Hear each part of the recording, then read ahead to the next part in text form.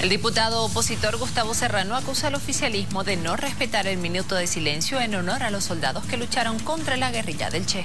Queremos denunciar que el MAS no respeta a los beneméritos, a los combatientes de la guerrilla de Yancaguazú. El día de ayer, una sesión plenaria totalmente bochornosa, en la cual el MAS hace homenaje al invasor extranjero, planteamos un homenaje camaral a los combatientes de Yancaguazú. El MAS no solamente que la rechazó, sino también que el momento que se pidió un minuto de silencio por los caídos en esa guerrilla defendiendo nuestra patria, se burló, no respetó ese minuto de silencio y ni siquiera respetó el himno nacional. Se menosprecia a los soldados que ofrendaron su vida y ofrendaron ese sacrificio por nuestra patria.